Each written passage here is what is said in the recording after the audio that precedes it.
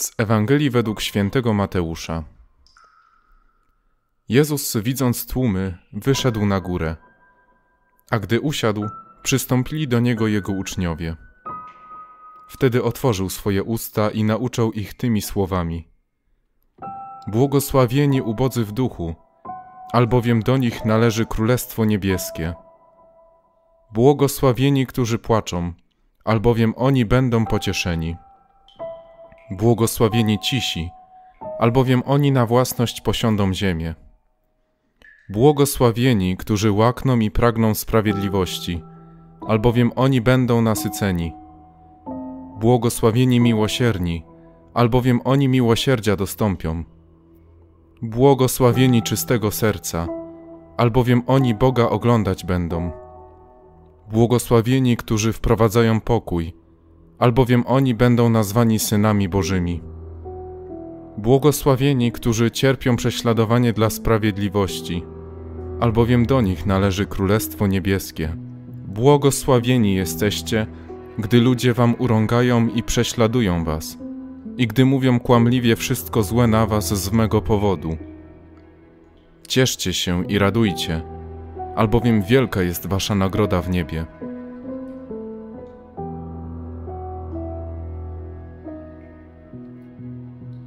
Dzisiejsza uroczystość wszystkich świętych jest kojarzona głównie z grobami, cmentarzami i zniczami. Słusznie pamięć o naszych przodkach i szacunek do osób zmarłych jest godny pochwały i uznania. Jednak zwróćmy uwagę na charakter dzisiejszej uroczystości kościelnej.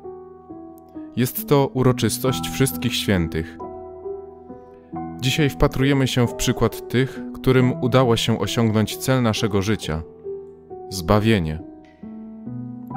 W tej radosnej atmosferze słyszymy dzisiaj słowo skierowane do nas w Ewangelii. Jezus dziewięciokrotnie powtarza nam o kluczu, który zapewni nam dostęp do Królestwa Niebieskiego. Cała Ewangelia dzisiejsza wskazuje, jak zostać błogosławionym. Błogosławionym, czyli szczęśliwym. Szczęśliwym w znaczeniu religijnym. Szczęśliwym już tu na ziemi – a błogosławionym, a nawet świętym na wieki w niebie. Niepowtarzalny Bóg powtarza nam klucz do zbawienia. Skoro do drzewa figowego powiedział jeden raz i go usłuchało, to do człowieka tym bardziej będzie przemawiał, aż nie zwróci na niego uwagi i nie zacznie go słuchać. To musi być naprawdę coś istotnego, jeśli tyle razy Jezus zwraca uwagę, jak być szczęśliwym.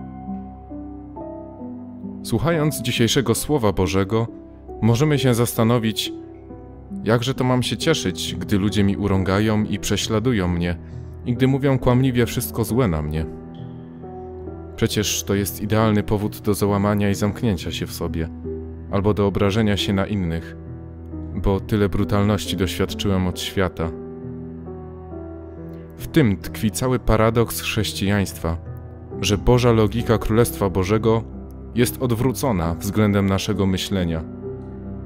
U nas jeden dzień to 24 godziny, a tysiąclecie to 365 242 dni.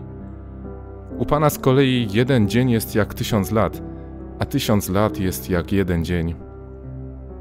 U nas szczęście to posiadanie. U Pana błogosławieni są ubodzy w duchu. U nas szczęście to sława, poklask, zainteresowanie medialne. U Pana szczęście to cichość i pokora. U nas szczęście to brak cierpienia. U Pana bardziej niż brak cierpienia cenna jest sprawiedliwość. Ta odwrócona logika Królestwa Bożego niesie w sobie ogromne bogactwa.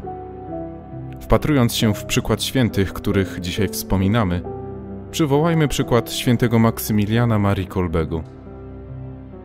Franciszkanin, więzień obozu koncentracyjnego w Auschwitz. Oddał życie, by życie ocalić drugiemu.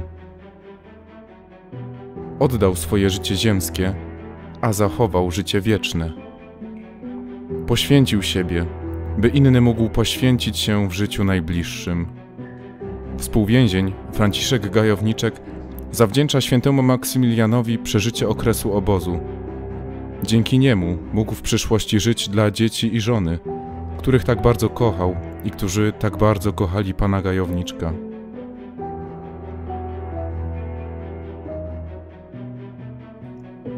Wsłuchując się w dzisiejszy klucz do uzyskania wiecznego szczęścia, spróbujmy zrozumieć tę odwróconą logikę Królestwa Bożego.